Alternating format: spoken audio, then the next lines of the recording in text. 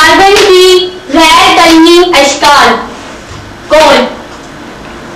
हज़ारों साल पहले नबातात जिग्राफी तब्दीलियों के बाद जेर ज़मीन दब गए ज़्यादा टेम्परेचर मिट्टी के दबाव और हवा की अदम मौजूदगी की वजह से इनकी कीमियाई की वजह से वजूद में आया।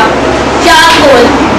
लकड़ी और दूसरे नवियाती मरकबात की को बुलंद दर्जा हरारत और हवा की गैर मौजूदगी में गर्म करने पर चारकोल हासिल होता है यह मुसामदार होता है इसकी हिसाबत बहुत कम होती है अफजूदा चारकोल, ऐसा चारकोल होता है, जिसे भाप के ज़रिए गर्म करके साफ़ किया जाता है।